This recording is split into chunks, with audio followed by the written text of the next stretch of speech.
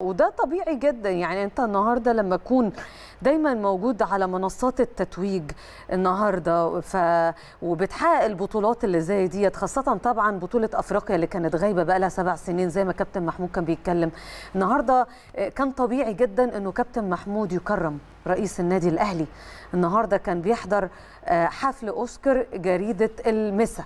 جريدة المسا بتنظم حفل مؤسسة التحرير للطباعة والنشر في قاعة الاحتفالات الكبرى علشان تكرم الأندية والشخصيات الرياضية الكبيرة اللي حققت العديد من الإنجازات الرياضية خلال الموسم اللي فات.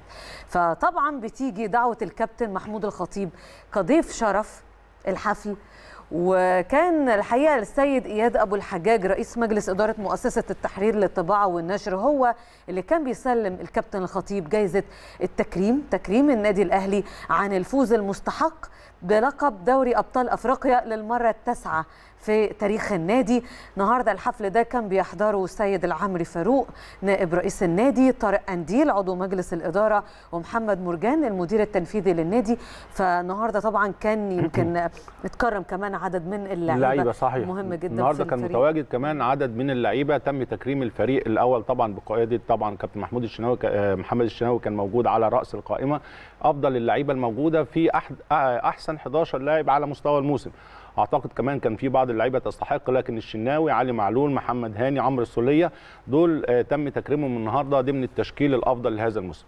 كمان شهدت الاحتفالية أوسكار جريدة المسا اللي اقيمت مساء اليوم تحت رعاية طبعا الدكتور أشرف صبحي وزير الرياضة حضور كبار الشخصيات الرياضية رؤساء الأندية والسادة الإعلاميين الإعلاميين والصحفيين. وسائل اعلام كتيرة جدا جدا بتكرم أو بتكرم طبعا الكابتن محمود الخطيب على البطولة القارية الكبيرة. وكمان بتكرم نجومنا نجوم لعيبة النادي الأهلي على الموسم الرائع اللي ادوه على مستوى الدوري على مستوى البطولة الأفريقية وإن شاء الله كمان على بطولة الكاس. فإن شاء الله كل التمنيات للنادي الأهلي ودايما دايما يعني يعني المؤسسات بتكرم بتكرم النجوم بتكرم الأبطال وعلى رأسها طبعا, طبعا. النادي الأهلي بكل لعيبته ومجلس إدارته. وشخصياته. وشخصياته طبعا أكيد.